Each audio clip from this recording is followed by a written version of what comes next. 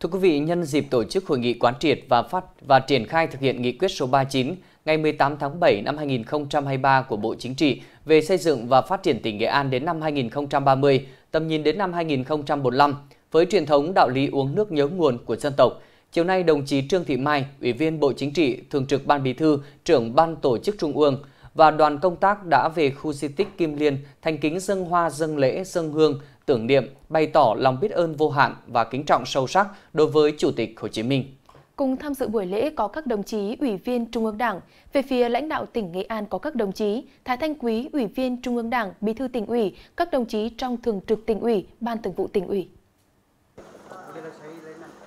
Sinh thời, Chủ tịch Hồ Chí Minh luôn dành cho quê hương Nghệ An những tình cảm thiêng liêng và sâu nặng. Thực hiện di huấn của người trong nhiều nhiệm kỳ qua, Đảng bộ chính quyền nhân dân tỉnh Nghệ An luôn trăn trở nỗ lực vượt khó để xây dựng tỉnh nhà ngày càng phát triển.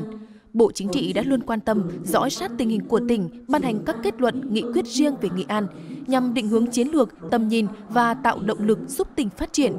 Việc Bộ Chính trị tiếp tục ban hành nghị quyết mới về Nghệ An, nghị quyết số 39, khẳng định sự quan tâm đặc biệt đối với quê hương Chủ tịch Hồ Chí Minh, khẳng định quan điểm của Đảng về vai trò, vị trí và tầm quan trọng của Nghệ An trong khu vực, vùng và cả nước, tạo sự thống nhất trong nhận thức và hành động của các cấp các ngành, mở đường cho việc đưa ra những giải pháp mới đột phá để xây dựng và phát triển Nghệ An trở thành tỉnh khá của cả nước như mong muốn của Bác Hồ lúc sinh thời.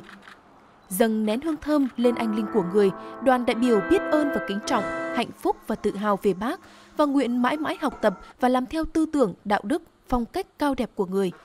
Trước đó, đồng chí Trương Thị Mai cùng đoàn đại biểu đã dâng hương lên xa tiên Chủ tịch Hồ Chí Minh tại đền Trung Sơn.